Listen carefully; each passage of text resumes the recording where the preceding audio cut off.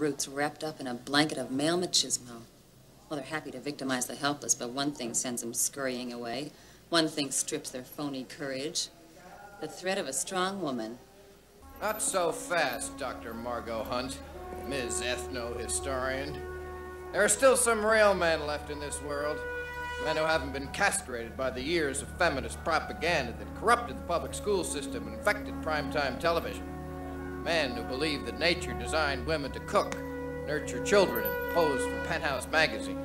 Real men who see our role in this world is to love, protect, and yes, I'm not afraid to say it, to dominate women.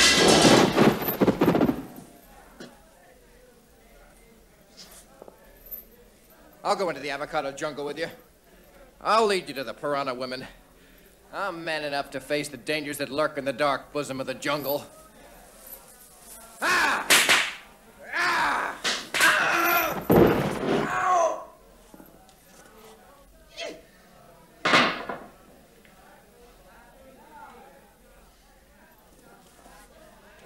I'm not afraid of the piranha women.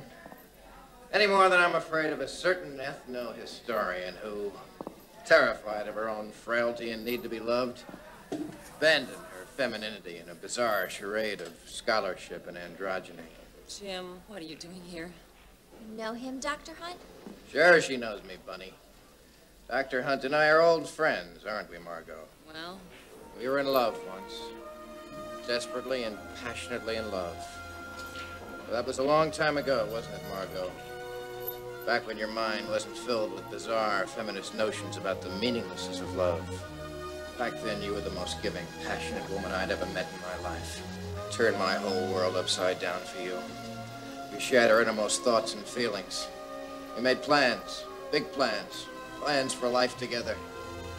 And then you dumped me flat because I didn't turn out to be the sort of man who fit in neatly with the feminist Tommy Rod you were being force-fed by your professors. it was a one night stand. I was half drunk and left right after we had sex. We didn't say eight words to each other, and all yours were composed of one syllable. Ha! Just like you to count the words, Dr. Hunt. What you never understood is there are some feelings that can't be measured in words. Some moments that last an eternity. You toyed with my affections, and after you crushed my heart, I crawled into a whiskey bottle and I haven't come out since. You left for Hawaii the next day with a bimbo in the cafeteria. Well, yeah, but uh, I had made that date a week before.